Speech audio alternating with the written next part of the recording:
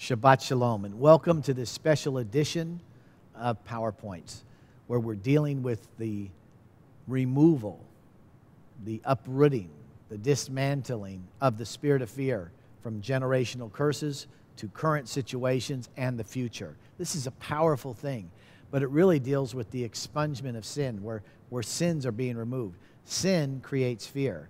The wages of sin is death. Death is when our breath is removed, where we can't breathe, we can't speak out life. And so God is setting us free. And I want to take you to Psalms 34 and 7. And it says, The angel of the Lord encamps all around those who fear him and delivers them.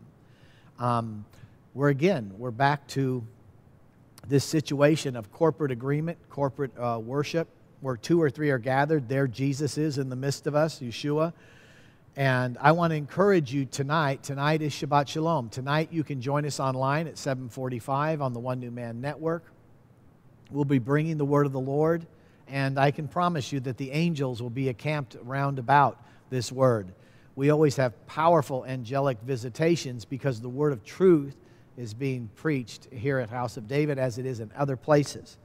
But I want to encourage you that that you have authority to speak the word and the angels of the Lord have the responsibility of hearkening onto the word of God and performing it.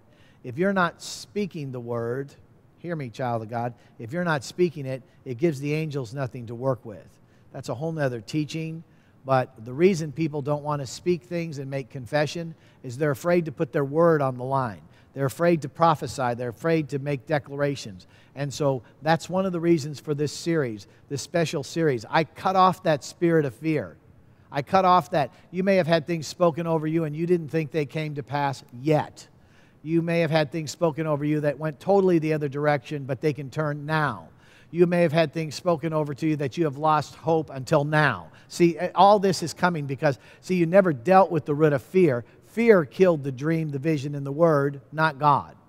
So we bind that spirit of fear and we cut it off. We take responsibility. We say, Fear, we are not in agreement with you anymore. We're not in covenant with you anymore. You don't belong in my soul anymore, my will, my emotions. Come off my children. Come off my business. Come off my church, my synagogue. Come off it now in the name of Jesus. We are the household of faith. We have faith, love, hope, and trust, and we walk in His power. So join us tonight. Be free from the spirit of fear, doubt, unbelief. Know that shame will not find you, for his face, face will shine upon you, and his glory will cover all the results, and it will be marvelous. Let's join together tonight. Let's magnify the Lord together, and let's exalt his name through the airways. Join us tonight, 745 on the One New Man Network Central. God bless. Looking forward to seeing you. Shalom and Shabbat Shalom.